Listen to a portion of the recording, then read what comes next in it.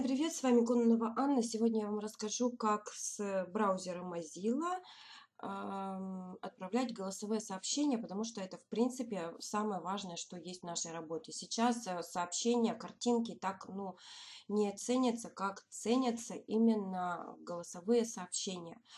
А, видеосообщения и так далее. А, ну, во-первых, смотрите, а, вот тут вот у меня почему-то было запрещено, да, и я нажала, что я разрешаю и запомнила разрешение, да, то есть вот без этого разрешения в Mozilla у меня аудио и видеосообщения не грузились, не хотели грузиться. То есть я нажала разрешить.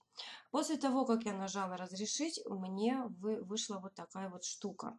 Да, то есть смотрите, тут идет конфиденциальность и так далее, нам, значит, нужно выбрать разрешить, да, то есть вот таким вот образом, и запомнить надо выбрать, да, вот, и потом нажать здесь а, закрыть.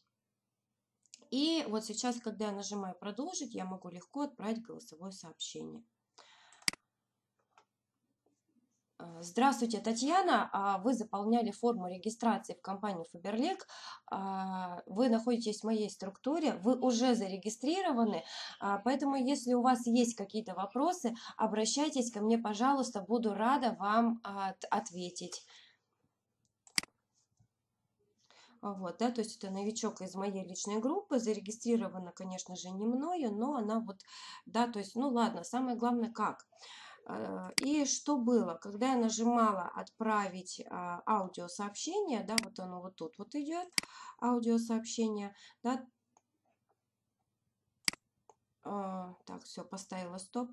Вот, у меня вылазило вот тут вот скачать Adobe Flash Player и так далее, и ничего не было. Я его скачивала, я его устанавливала, да, то есть я это все сделала, но у меня все равно ничего не было. У меня все равно не получалось отправить голосовое сообщение. Оказывается, дело вот в этой вот разрешалочке было. Да, я раз переустановила этот Adobe, который рекомендовали, два сделала, мне ничего не получалось.